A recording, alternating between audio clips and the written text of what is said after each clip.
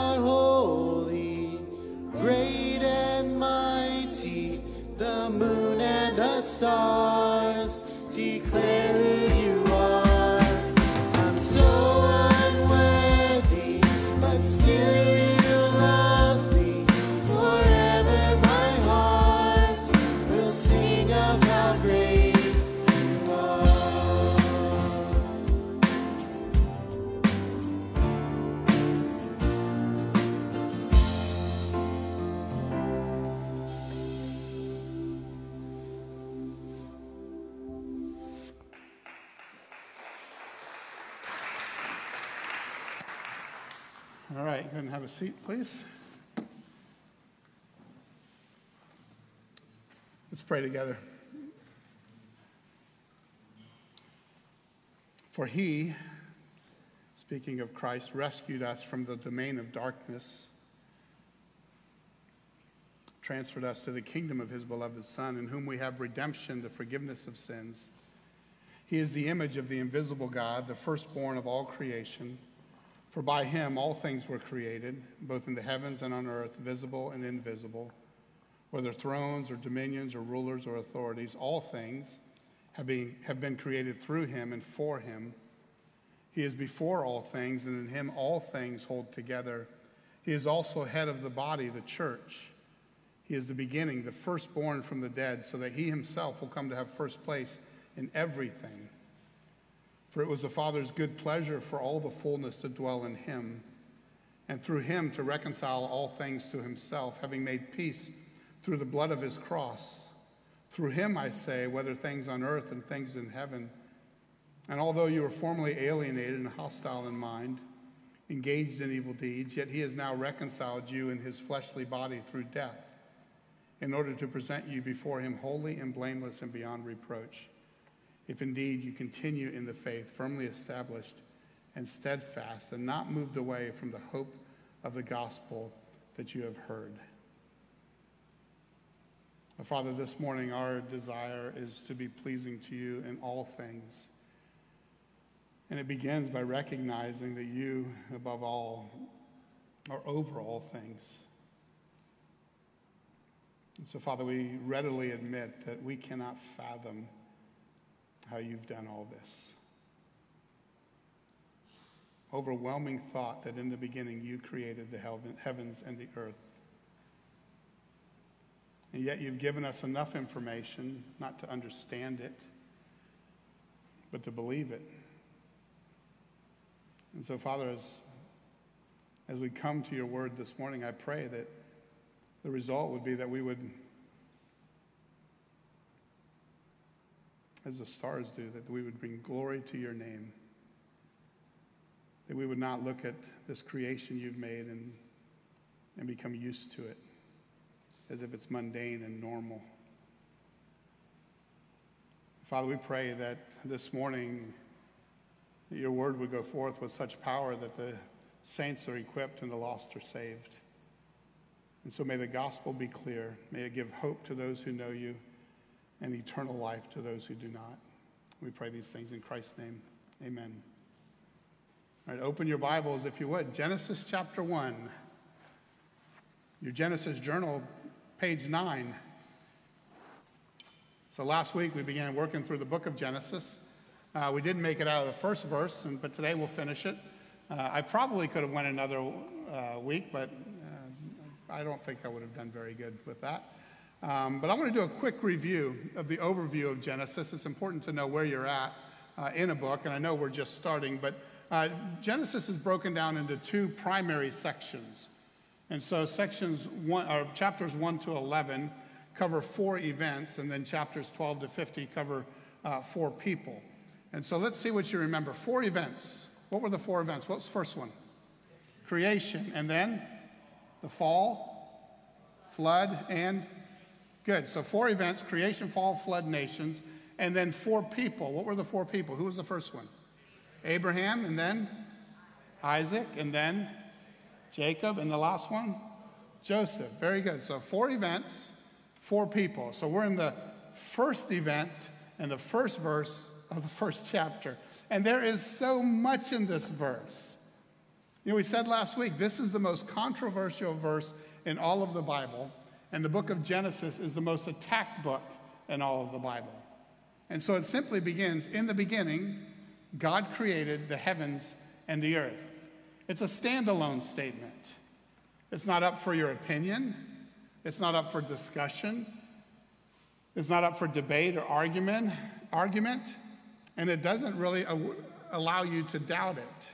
It simply declares the existence of, the existence of God before creation and his hand in creation. It doesn't tell us why he created.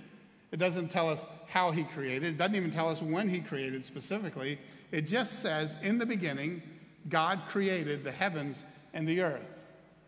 Now, there are all kinds of speculations that people will have from there, right? Some think, well, I think God probably created because he was lonely and he was lacking. Listen, God wasn't lonely or lacking, he needs nothing. You know, I, have I've heard a lot of people that when, when somebody passes away, they, they, they try to give hope. And one of the ways they try to give hope is they say, I think God probably needed them in heaven more than you needed them here. That's really bad theology. And it really paints God as a, as, as a selfish God, doesn't it? God needs nothing. I mean, He loves us, but He doesn't need us. And what 1 1 does is it tells me that there was something before there was a beginning. What was the something that existed before the beginning? God did. So creation is not when it all started. Creation was when God created the beginning. But before creation, God. Before there was anything, God. Everyone has a start, everyone has a starting point except for God. Creation demands the existence of God, which is our first point this morning, Roman numeral number one. Creation demands a creator. So the fact that there is something demands that there was something. Even when there was nothing, there was something.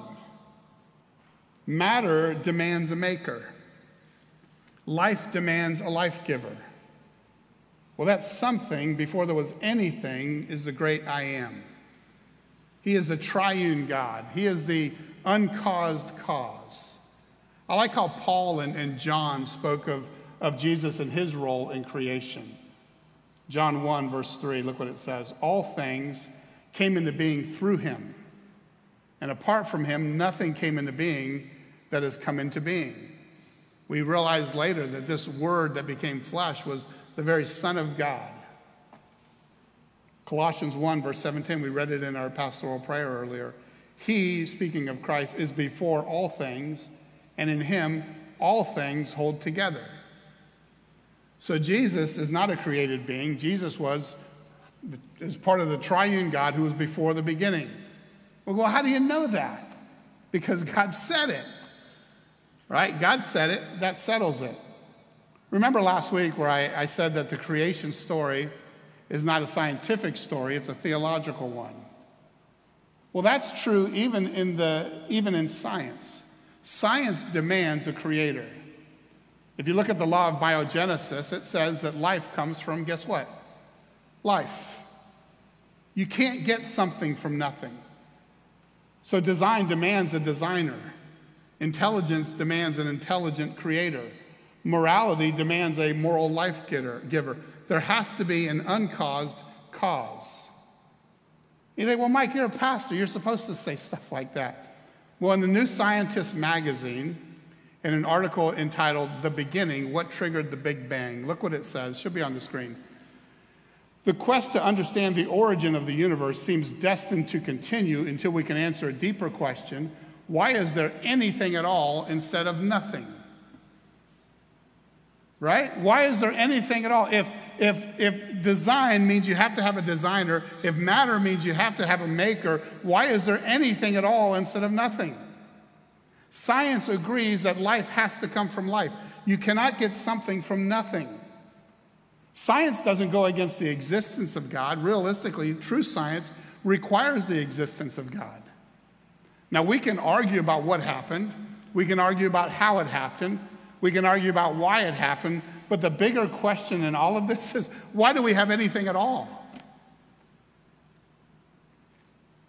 Because in the beginning, God created the heavens and the earth.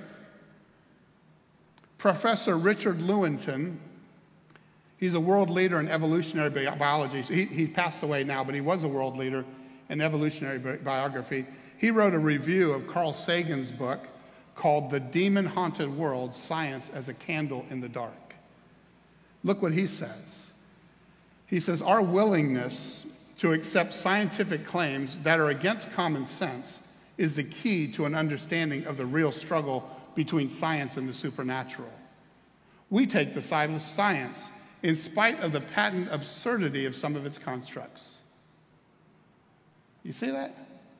In spite of its failure to fulfill many of its extravagant promises of health and life, in spite of the tolerance of the scientific community for unsubstantiated just so stories.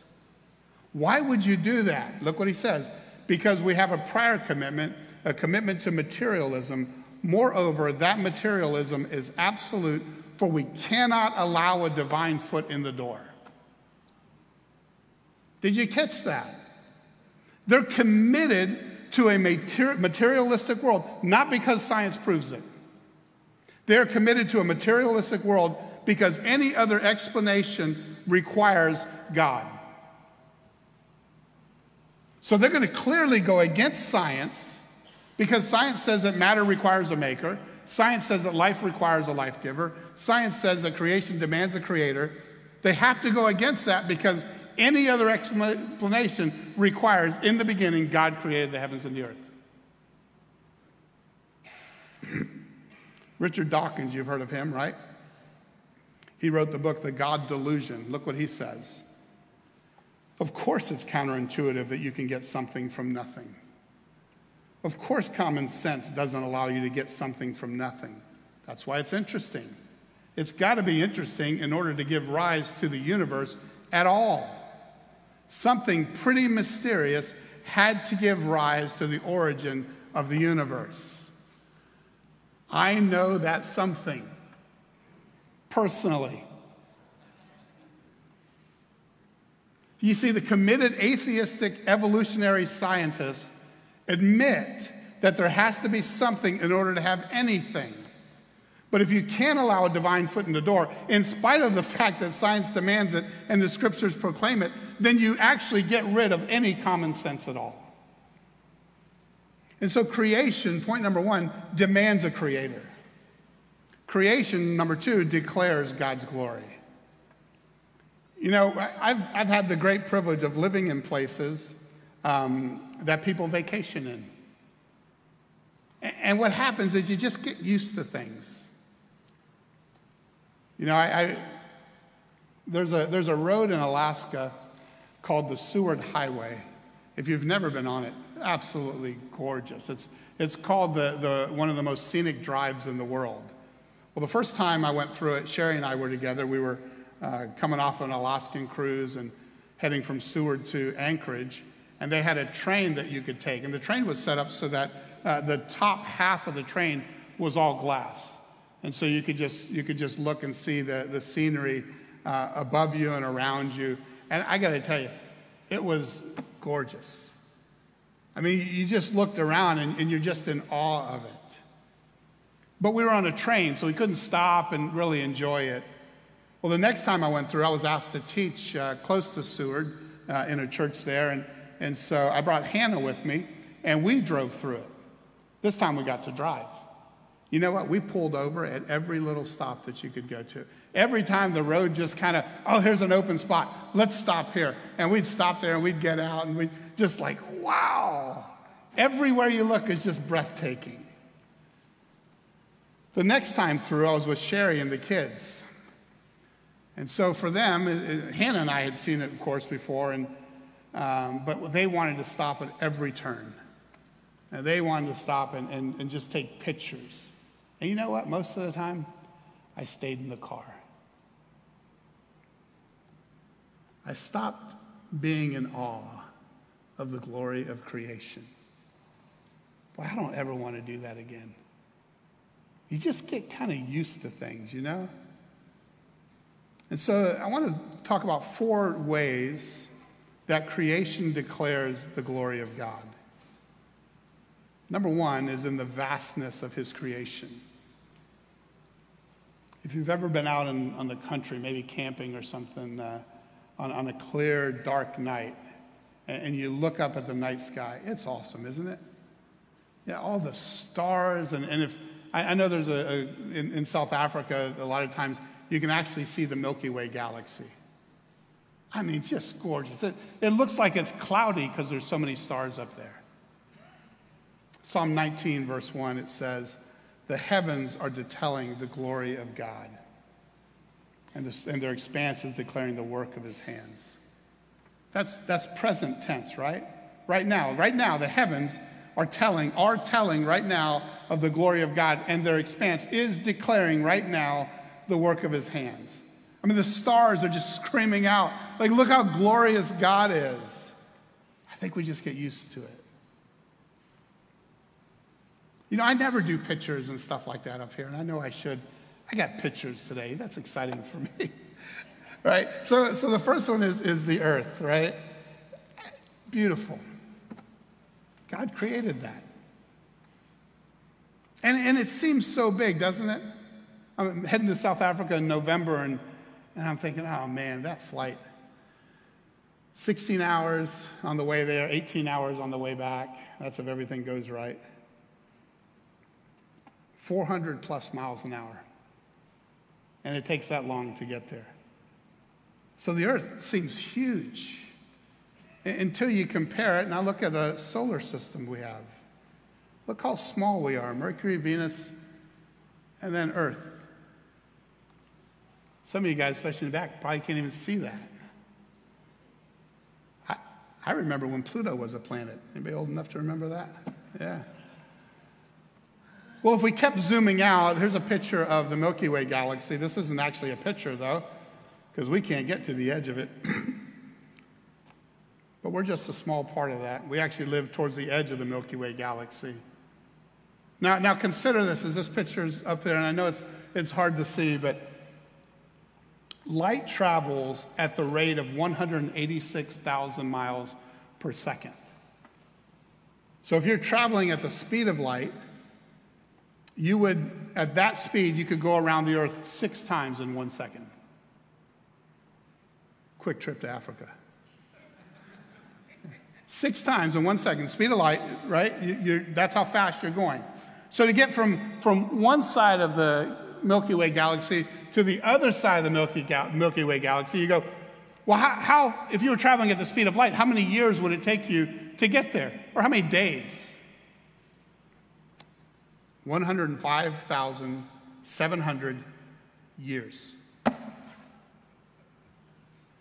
To go from one side of the Milky Way galaxy to the other side of the Milky Way galaxy, going the speed of light, 186,000 miles per second, six times around the Earth, one second, that speed is going to take you 105,700 years. That's just our galaxy. In our galaxy, there are anywhere from 100 to 200 billion stars, depends on who you ask. The Hubble telescope recently provided evidence that there are 125 billion galaxies in the observable universe. Creation, the vastness of creation, declares the glory of God. Isaiah said, Lift up your eyes on high and see who created these stars the one who leads forth their host by number. He calls them all by name. Because of the greatness of his might and the strength of his power, not one of them is missing. Listen, we have eight children and seven grandchildren. I know their names. Birthdays, I got my kids down. Sherry's got the rest of them. How many names of stars are there that God has to remember? I mean, there's 100 to 200 billion stars in our galaxy, and then there's 150 other galaxies out there. 150 billion other galaxies out there. And in his, in his omniscience, he doesn't even have to think about it. He doesn't have to go, oh, let me think here. Oh, that's. He knows. Just like that. He knows. But he doesn't just know the, the name and intimate detail of every star that exists or has existed or will exist. He knows you intimately. He knows the intimate details of your life. So, what's too big for God? Is there any problem that you have now or ever will have that's too big for God? What might seem overwhelming and impossible to you is not overwhelming and impossible to God. And the beauty of the gospel is that God is not just this huge entity outside of us, God has taken up residence inside every Christian. And He has promised, I will not leave you as orphans, but instead I'm going to abide with you and I'm going to abide in you. 1 Peter 5, knowing this, 1 Peter 5 says, Therefore, because of this, humble yourselves under the mighty hand of God, that he may exalt you at the proper time, casting all your anxiety upon him because he cares for you. If he can hold all of this together, I mean, don't you think he can handle those things in your life that cause you to lose sleep, cause you to get angry, cause you to be anxious? It's the vastness of his creation that should give you confidence of who God is. Where else do we see the glory of God? Number two, in the design of his creation. We're in this pattern in Florida where it just rains every day. I used to love it when we lived in Clearwater because at four o'clock every day it would just pour down rain. All the tourists would leave the beach, and 15 minutes later, you got the whole beach to yourself. This morning, I mean, it just rained this morning. And in Job, Job says that, that rain, as normal as it is for us, he says rain is a great and unsearchable wonder of God. I mean, Job, moved to Florida. I mean, every day, four o'clock, it just rains. I mean, monsoon kind of thunderstorm rains. Job says, chapter 5, but as for me, I would seek God and I would place my cause before God who does great and unsearchable things, wonders without number, such as rain on the earth and sends water on the fields. And you go, well, what's the big deal about rain?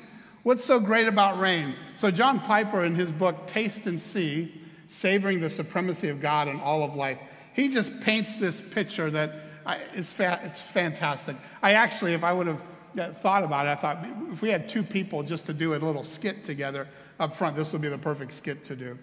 But he says, Picture yourself as a farmer in the Near East. You're far away from any river or stream.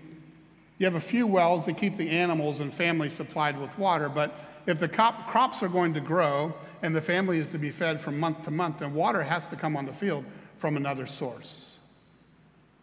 And so you say, but from where? The sky. The sky? So water is just going to come out of the clear blue sky. Well, not exactly. Water will have to be carried in the sky from the Mediterranean Sea over several hundred miles and then be poured out from the sky onto the fields. Carried? Well, how much does water weigh?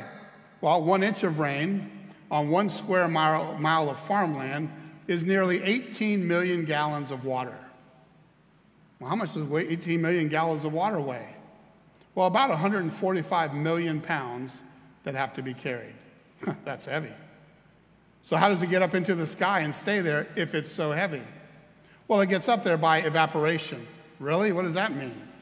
Well, it means that the water sort of stops being water for a while so it can go up but not down.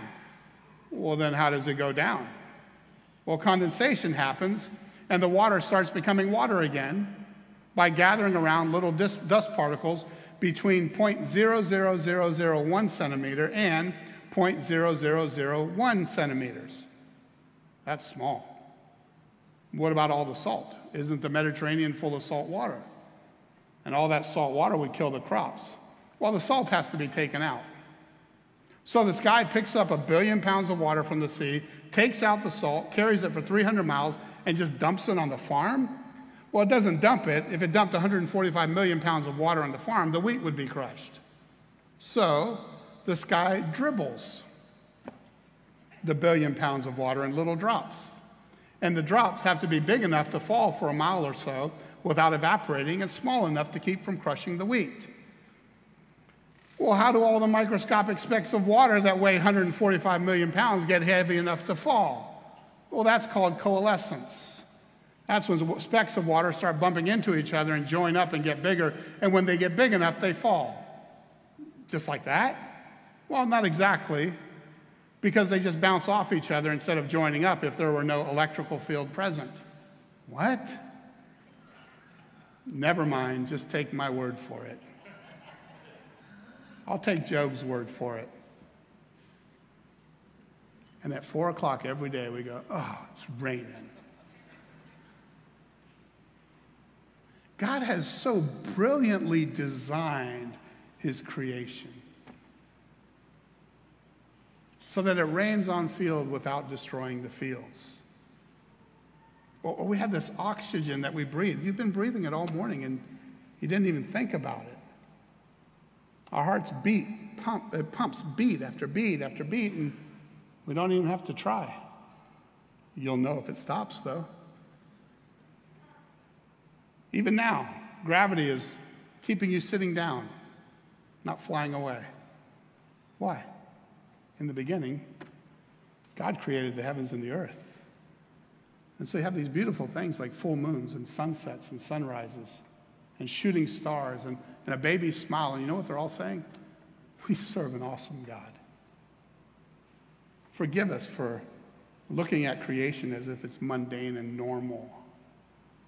I mean, does anybody else think it's kind of weird that we, we breathe in oxygen, we breathe out carbon dioxide, but if we breathe in carbon dioxide, then we can't really breathe? Like he takes care of those details. He takes care of the details so that if we, we get too close to the sun, we burn up, and if we get too far away, we'd freeze. And so he keeps us just on the perfect distance and the perfect access. Like he's the eternal God. He created all things in the beginning, and he holds all things together. And he's the uncaused cause because in the beginning, God created in perfect order the heavens and the earth. And so we see his glory, number three, in the method of his creation. You know, for two weeks now, we've harped on the fact that God created everything. what we haven't done is talked about how he created everything. And so the Hebrew word here uh, means that he created out of nothing. In the Latin, it's ex nihilo, out of nothing. Which means that there wasn't no big bang, even if you try to, to combine evolution and, and, and, and, and the Bible and you say, well, then God was the big banger. No, he wasn't that, because that would have required two atoms to come together first. But he just spoke it into existence. He literally created out of nothing. And when we create, we're, we're so much different than that, right? Like we, we build everything that we have because of something that we already have. Like we have materials that we use to create, whereas God created out of nothing. I mean, just think about the, the, the people that we would say are, are, that we would credit with being the most creative minds in our lifetime. My lifetime, uh, the first person we'll have him here is, is Walt Disney. So, Walt Disney, what did he create? Mickey Mouse. Out of nothing? No. He just had a mouse and he made it into a big rat. He modified what God created. He didn't create out of nothing, he modified God's creation. What about the Star Wars? I know some lovers in here. I'm surprised you didn't yell just now when I said that. George Lucas, right? Yoda. What did George Lucas do with Yoda? Well, he modified a created being's ears, made him larger, he cut off some fingers, and he made him speak with really bad grammar. Sorry, EJ, I know that hurt when I said that. God created out of nothing. He didn't modify anything to get what we have today. He literally spoke the world into existence. You can't even say he did it out of thin air. He created thin air. Right? There was no material to modify. There were no elements to join together. Hebrews 11, look what it says, verse 3. By faith, we understand that the worlds were prepared by the word of God, so that what is seen was not made out of things which are visible. It has to be by faith because we can't fathom that there was anything. We can't fathom, sorry, the before, before there was anything. He literally created everything out of nothing. Psalm 33, verse 6 By the word of the Lord the heavens were made, and by the breath of his mouth all their host. I, I don't know how it happened. I mean, maybe he just said, universe. And the universe just appeared with galaxies in perfect orbit. I mean, what does that do to you when you just think that that's all he did? He just said universe, and it, all happened. The whole six days, six uh, ages, that all argument. Listen, it could have been six seconds. Paul thinks about that, and look what he says in Romans 11, verse 33. Oh, the depth of the riches, both of the wisdom and knowledge of God. How unsearchable are his judgments and unfathomable his ways. It's unfathomable. And if you're sitting here and, and you're just blown away by it all, 107,500 years at the speed of light to get from one side of the galaxy, I'm sorry, yeah, the galaxy to the other. And you go, yeah, I get that. You do not. You can't fathom that. It's unfathomable. Well, listen, if that's you, you're just going, I, I don't get it. I'm in awe of it. You're in great company because Paul says that's the wisdom and the genius of God. You can't measure it no matter how hard you try. But just because you can't measure it doesn't mean that you can't believe it. We read last week from Romans that looking around at creation, it's all the evidence we need to know that there's a God. And to come to any other conclusion is to suppress the truth of God. He didn't do it over billions of years. Six consecutive 24 hour days. And I'll show you why uh, in the next couple weeks.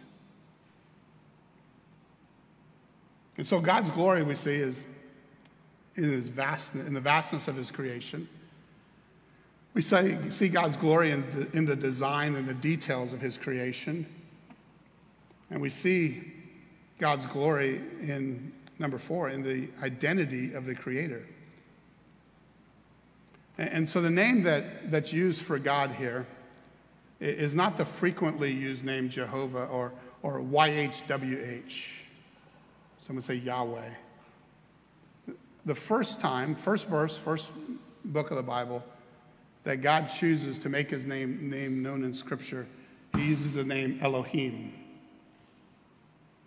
Elohim. It's, it's, a, it's a name that is used for God 2,310 times in, in, in the Old Testament. And remember, names mean something in the Bible. And so El, El means God. And so you, you might have heard the, uh, like El Shaddai, God the sufficient one. Emmanuel, what's Emmanuel mean? God with us. Okay, so here it's the name Elohim. Elohim means the infinite God, the all powerful God. Interestingly, this name is plural. Okay, in the Hebrew language, it's called a majestic plural. And you go, wait a second, if it's plural, then is does this imply polytheism? No, because then you'd have to throw away the rest of the Bible to get to that. There's only one God. So, what are our options? in the first verse of the first book in the Bible, we see an argument already for the triunity of God. And you see it later in, in verse 26. God, Elohim, says, Let us make man in our image, plural.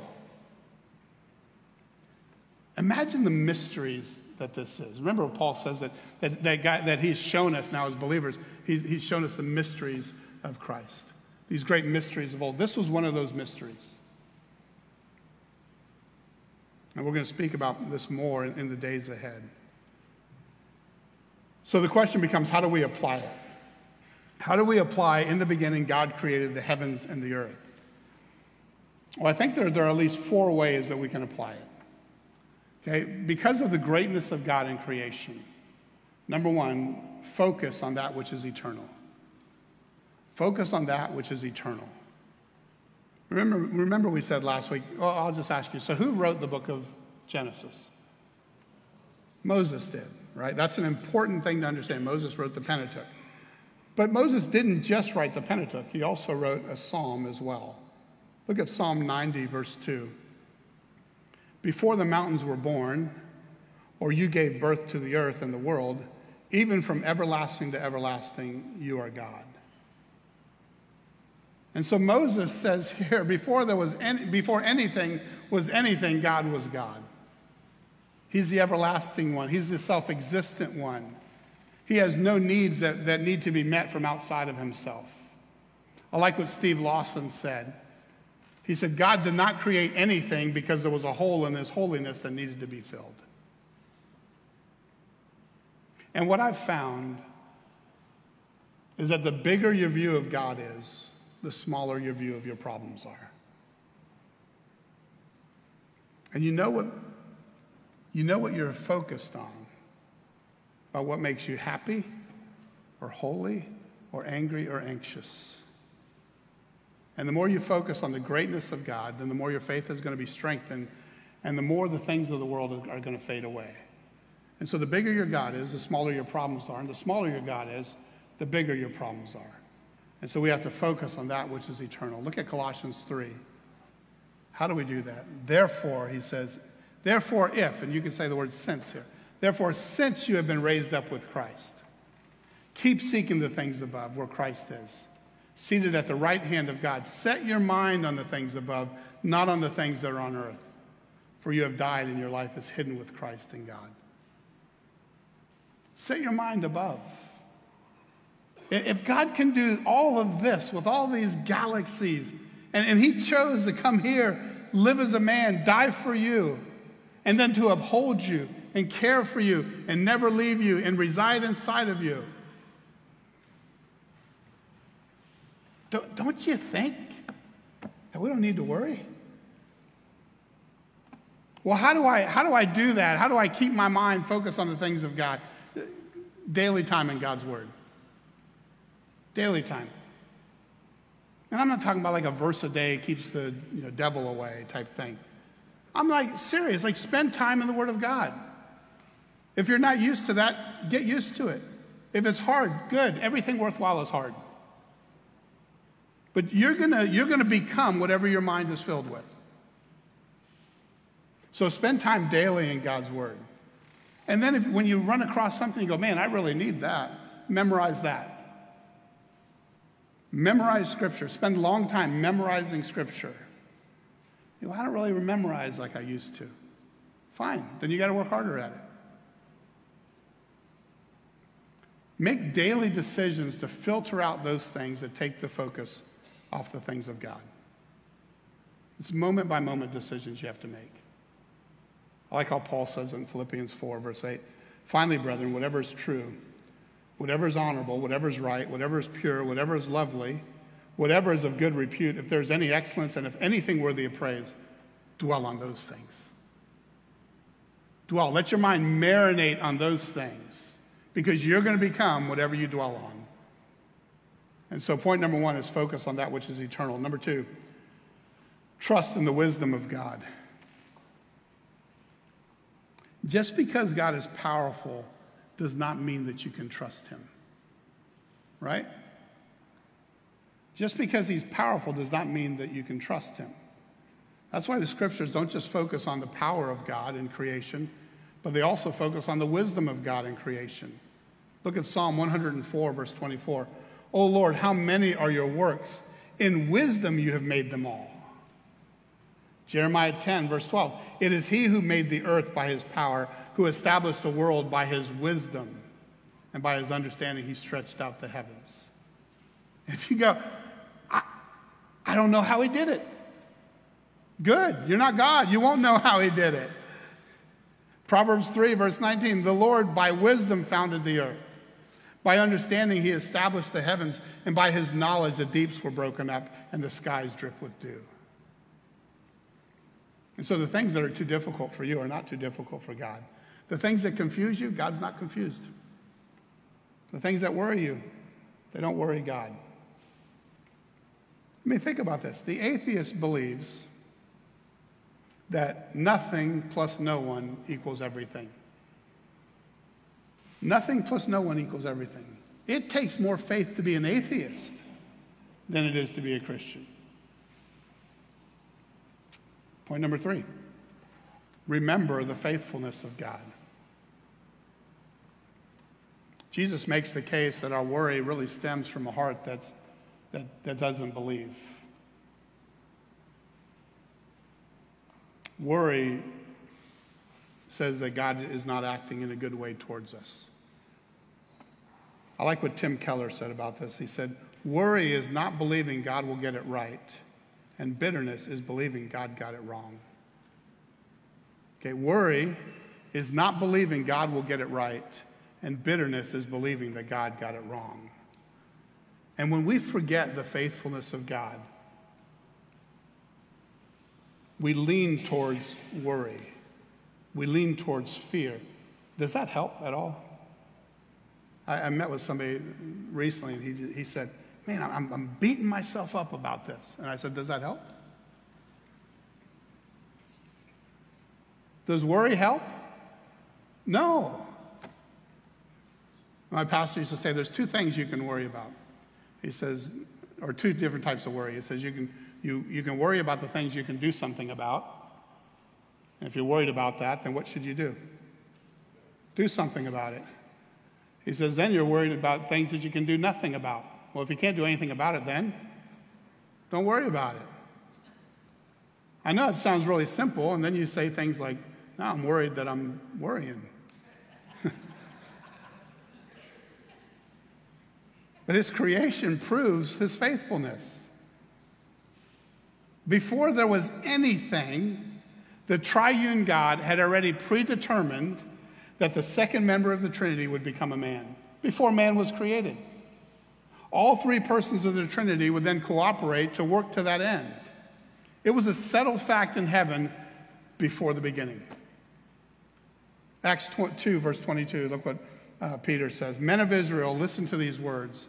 Jesus the Nazarene, a man attested to you by God with miracles and wonders and signs, which God performed through him in your midst.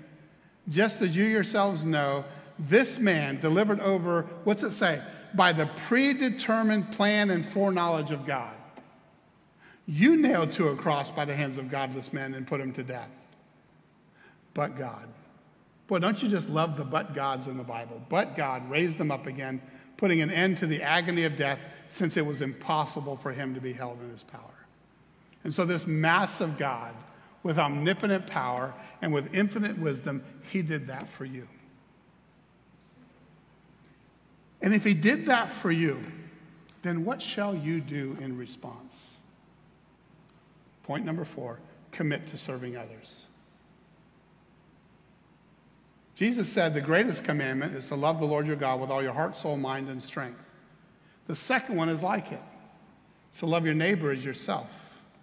And so when you look up and you see the magnificence of God, it should spur you on to, to thank Him by serving others. Ephesians 2, verse 8, verse 8 says, For by grace you have been saved through faith, and that not of yourselves. It is the gift of God, not as a result of works, so that no one may boast. You can't, you can't brag about being saved. You're saved by grace through faith. And then it, the next verse, for we are his workmanship, created in Christ Jesus for good works, which God prepared beforehand so that we would walk in them. So it's not just, oh, wow, look at this wonderful creation. Yes, look at this wonderful creation. Look how awesome a God that we serve. And then you serve. Use your gifts. We had a fun Sunday school this morning. We were talking about the local church and the importance of the local church in the life of a believer. It's not just to come and, and listen. You know, I, I, think one of the tragedies of, of COVID has, there's a bunch of them, but one of them in the church sense is that people think you can just watch church on TV and that's church. This is church here. This is right here.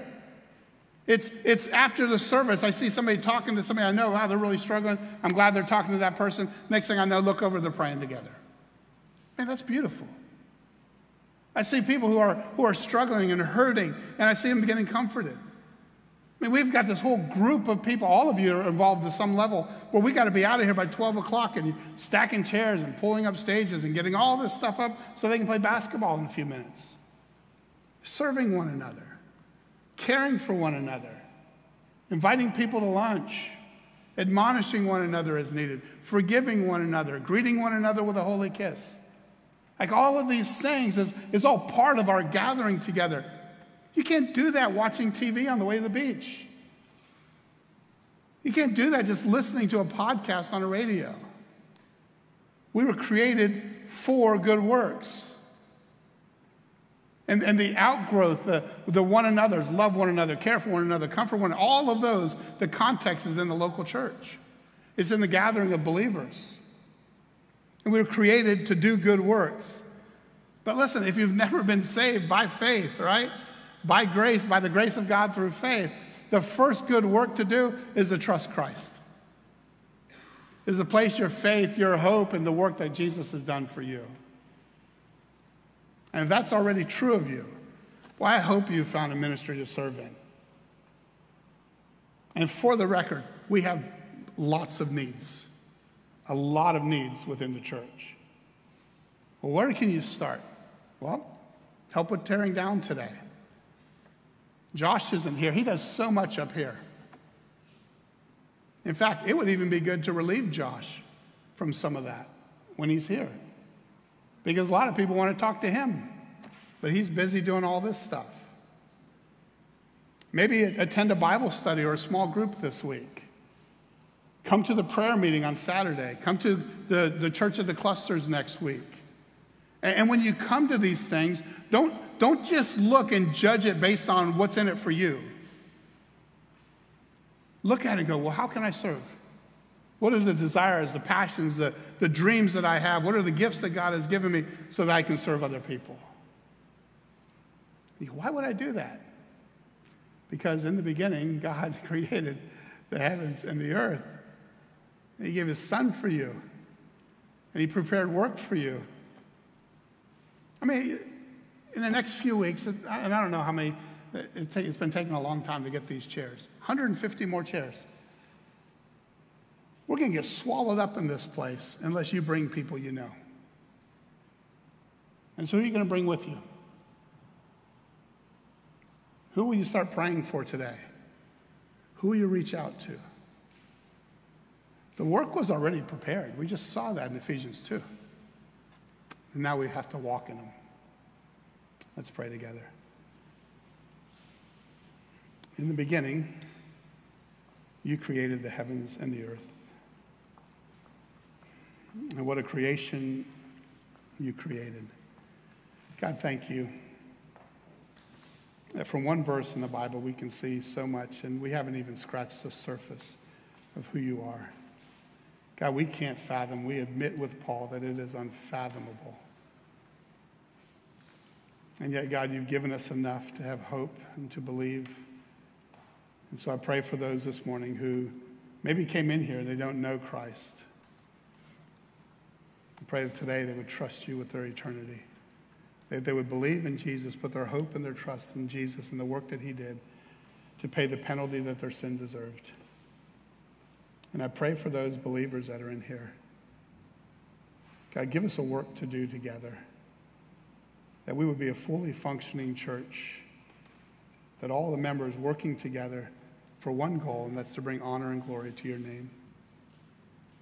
And so, God, put people in our minds now that we can begin praying for and reaching out to and inviting to come. Not that we would just have a whole bunch more people in the church, but that those without Christ might come to know him, and those who know Christ will be faithful to serve him. And so be glorified in all that we do. We pray in Christ's name. Amen. Let's stand together as we conclude our service this morning.